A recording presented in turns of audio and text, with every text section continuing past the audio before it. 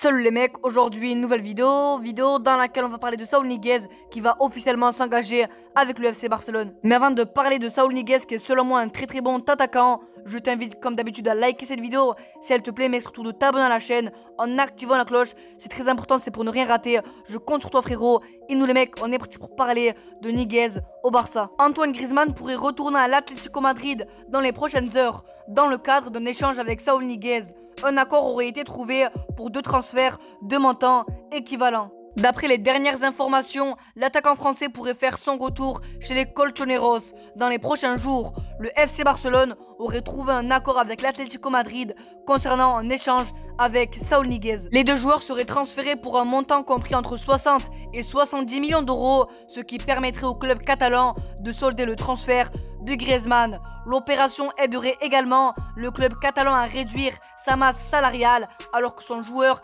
perçoit le double de rémunération du madrilène. Pour rappel, Antoine Griezmann avait été recruté pour un montant de 120 millions d'euros lors de l'été 2019 et son engagement porte jusqu'en juin 2024.